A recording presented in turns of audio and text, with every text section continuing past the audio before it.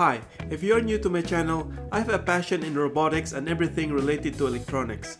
But along with the builds are the tedious gluing and painting, which is the least of my excitement. To top it all, Florida, although a sunshine state, is not all sunny with afternoon thunderstorms in the summer and freezing winter nights just makes the work all too consuming. The reason I decided to build a heat box. It's basically a box which utilizes a lamp to heat the chamber. But for us to control the temperature, we need to add a control box and a sensor inside the chamber. This will read the temperature and switches the lamp on and off accordingly to maintain the target temperature.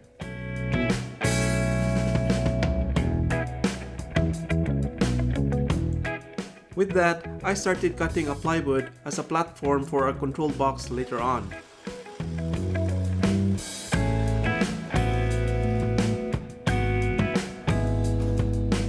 I also use a cardboard box which I obtained from the local hardware store.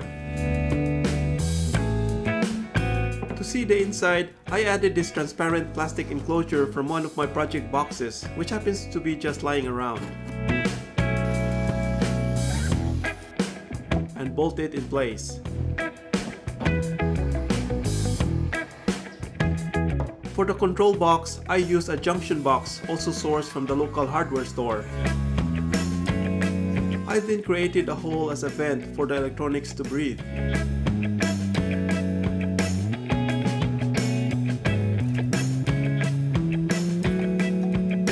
Okay, so after cutting all the necessary holes, I mounted the receptacle. This is where the power goes in and it will go to this adapter which converts it to 5 volts which will power up the Arduino. And also the power goes to this outlet. One line goes to this outlet directly and the other line goes to this relay before it reaches the outlet.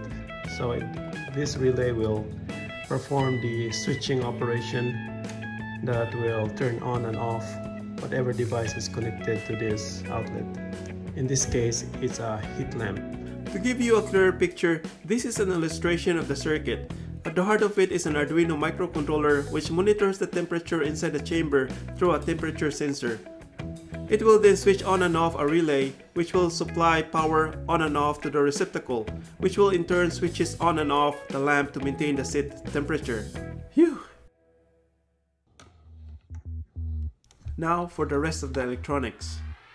I added a USB extension to access the Arduino and also a USB connector for the temperature sensor to plug into.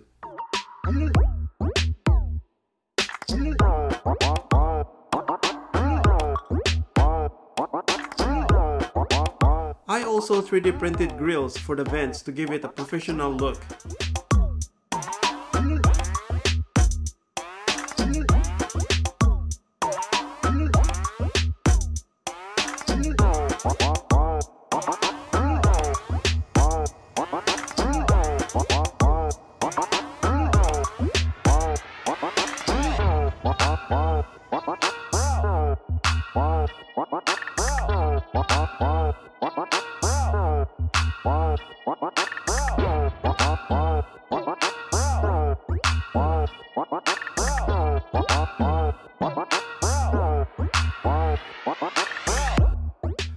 That the cables are tidy, it's time to close the cover.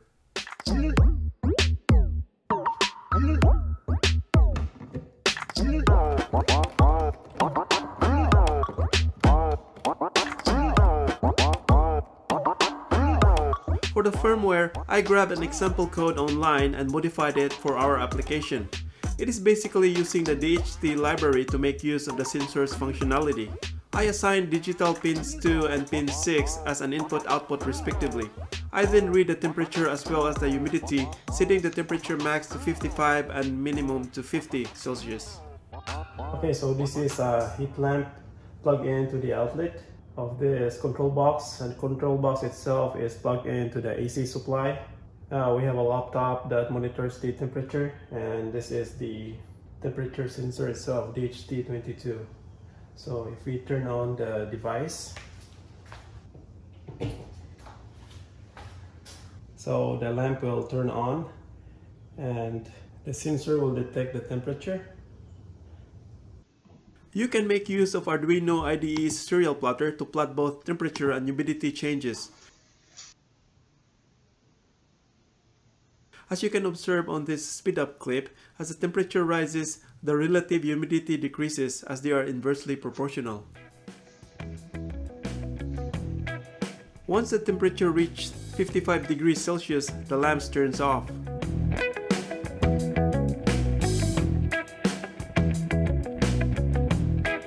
Then you see the temperature dip, and when reached 50, the lamp turns on.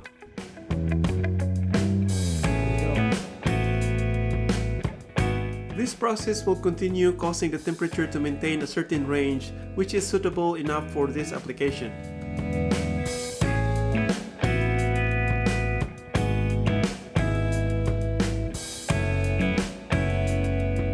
Okay, so I cover the inside.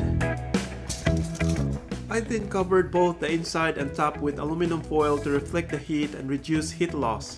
I also added a porcelain tile for the objects to sit on. A hole is cut on top for easy mounting.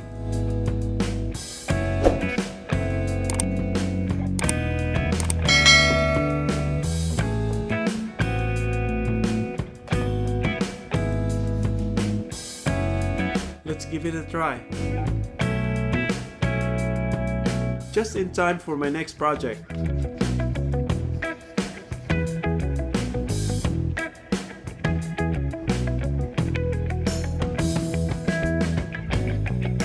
I glued a few parts with an epoxy and placed them inside and let the heat speed up the curing.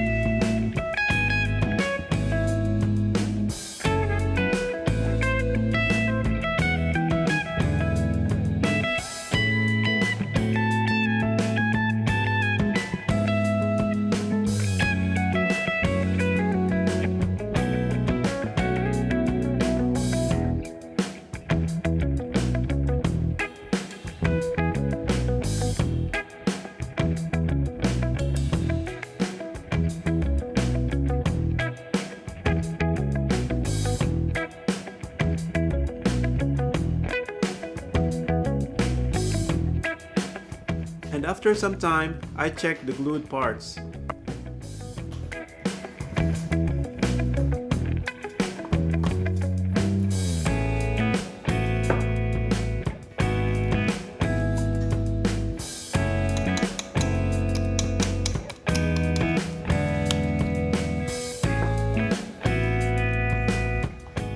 hope you find this video useful and if you like this video, check my other videos as well.